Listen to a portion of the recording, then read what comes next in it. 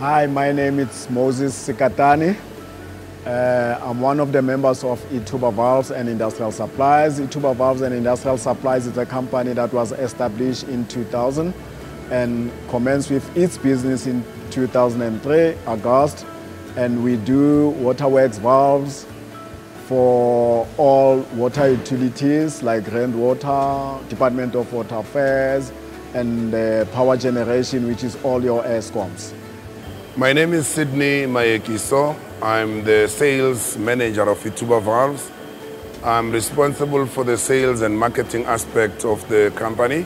My role is to generate sales and promote the company's products. This is now the second year that we are on, two years I must say, that we've been using Leads to Business. We were struggling before because we had no source of information in the market and uh, when Leads to Business was introduced to us, it made our lives very easy. We get to know about projects um, and, and, tenders that are upcoming before our, uh, competitors know. This morning only, I got a lead from Leads to Business of Department of Water Affairs about a project in the Free State. And uh, I quickly went into the Department of Water Affairs' website to try and get and download it from there, and it's not even posted there. So you can see how quick it is. So uh, we, we, we end up using leads to business uh, to beat the competition. I like the fact that, uh, you know, you can follow the, it's got, it's got your contact details of the people that are actually um, issuing at the tender and you can follow it through a link uh, uh, to get to the, the, the, specification of the document.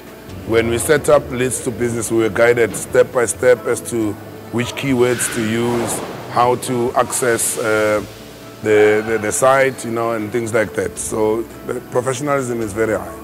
As a manager, I'm supposed to be uh, delegating um, duties of where to go and where to look for work.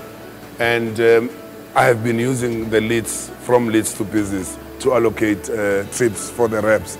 And I must say that as Moses has previously said that we're growing on a yearly basis and uh, leads to business has, has been part of that success.